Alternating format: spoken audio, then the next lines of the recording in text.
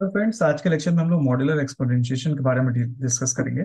और modular exponentiation का simply meaning है कि मॉड्यूलरिटी का कुछ मॉड्यूलस फाइंड करने का कुछ कॉन्सेप्ट होता है। फॉर एग्जांपल हमारे पास एक ए और बी गिवन है और हम ऐसा कह रहे हैं कि अगर A plus B mod M हमें फाइंड करना है तो इसकी वैल्यू इक्वल होती है A mod M plus B mod M अगर इसका हम एग्ज़ाम्पल लेना चाहें तो लेट्स से मेरे पास ए की वैल्यू टेन है और बी की वैल्यू थर्टीन है और एम की वैल्यू फाइव है। तो अगर हम A plus B mod M directly करेंगे तो this will be twenty three mod five मतलब कि इसका आंसर थ्री होगा।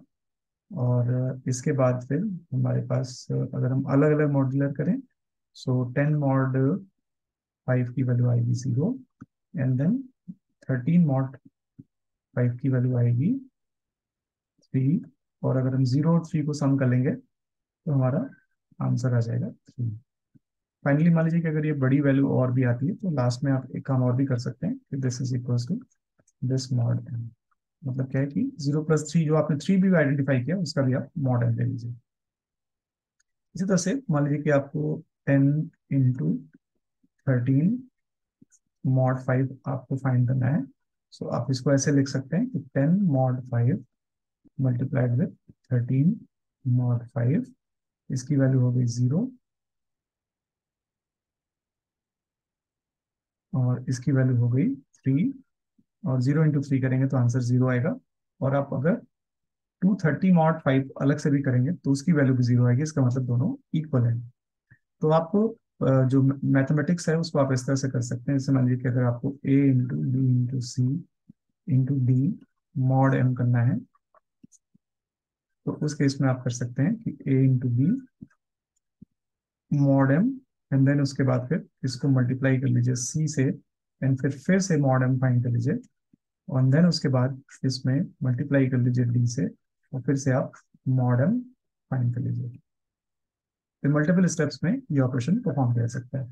तो कई बार हमारे कॉम्पिटेटिव कोडिंग में ऐसा गिवन होता है कि हमें इस तरह का मॉडुलर एक्सपोनेंशिएशन करना है। कि मॉड्यूलर एक्सपोनेंशिएशन हमें करना है और मॉड्यूलर एक्सपोनेंशिएशन को समझने से पहले आई होप कि आपने मेरे प्रीवियस लेक्चर देख लिया था, जहाँ पे हमने पावर को जनरेट किया था using the recursion and the binary exponentiation तो मान लीजिए कि मुझे एक power function P O W नाम का गिवन है और इस पावर फ़ंक्शन में ए और एन वैल्यूज़ गिवन है। मॉड्यूलर एक्सपोनेंशिएशन हमें करना है और ये मुझे पता है कि मुझे मॉड विद एम फाइंड करना है, जिसको मैंने ऑलरेडी डिफाइन कर दिया है। तो अगर एन की वैल्यू ज़ीरो थी तो हमने रिटर्न किया था वन तो इसके बाद हमने ये चेक किया था कि अगर हमारा एन इवन है तो हमने पी पी एक फाइंड किया सिक्स पर let's say. P is equal to power of A comma N by two और अगर मेरा एन इवन होता था, इसका मतलब है कि अगर एन नॉट टू ज़ीरो होता था तो हम रिटर्न करते थे पी इंटू पी और अदरवाइज़ हम रिटर्न करते थे P into P into A. This has reduced our task of exponentiation to log n time. और इससे पहले जो मेथड था वो n टाइम लगता this is a very good method ना हमें क्या करना है कि मॉड्यूलर एक्सपोनेंशिएशन अगर फाइंड करना है तो इसका मतलब क्या है कि पहले हम p इंटू पी फाइंड करेंगे एंड देन उसके बाद फिर मॉड m भी कर देंगे यहाँ पे एंड सिमिलरली जब हमें p into P into A find करना है तो इस लाइन को हम रिप्लेस करेंगे पी इंटू पी क्योंकि ये बड़ी वैल्यू हो सकती है, आप इसका मॉडर्न कर दीजिए एंड देन इसके बाद इस वाले पार्ट का भी सॉरी ये जो मॉड आया है, इसमें ए को मल्टीप्लाई कर दीजिए एंड देन अगेन आप इसका मॉडर्न ले लीजिए। फाइन तो इस तरह से आप इस लाइन को चेंज कर सकते हैं इससे। तो स्टेप बाय स्टेप आपने मॉड्यूलरिटी का मॉड्यूलस का कॉन्सेप्ट यूज़ कर लिया तो आइए इसको कोड करके देखते हैं। This is the code that we design in the last time I hope आपने मेरा प्रीवियस लेक्चर देख लिया है। यहाँ पे हमने क्या करना है कि एक एम को पिक करना है। हम एक काम कर सकते हैं कि एम को एक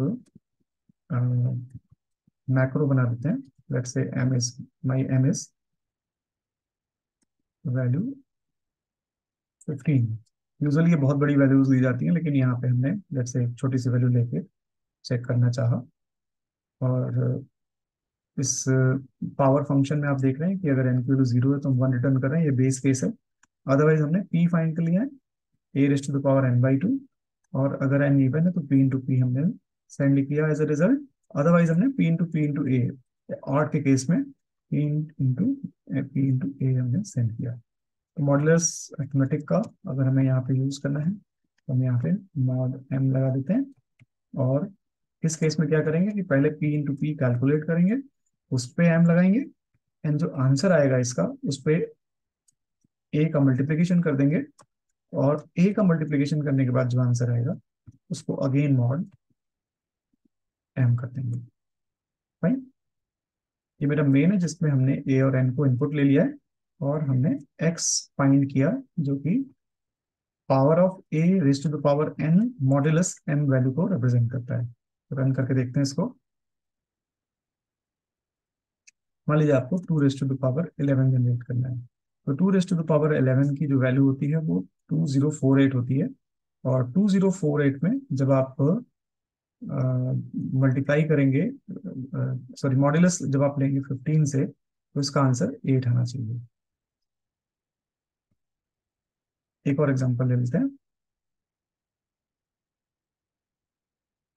मान लीजिए कि हमें two raised to the power thirty generate करना है तो आप देख सकते हैं कि it reduces the value to a very short value that is four otherwise ये वैल्यू बहुत बड़ी आती। और कॉम्पिटेटिव कोडिंग में यूजली हम क्या करते हैं कि रेंज को हैंडल करने के लिए एम की जो वैल्यू है, वो काफ़ी बड़ी लेते हैं। जैसे फॉर एग्ज़ाम्पल एम की value ten raise to the power seven ten ten raise to power seven ले लेते हैं से अगर ये ten raise to power seven लेना है तो वन के बाद सेवन ज़ीरो होंगे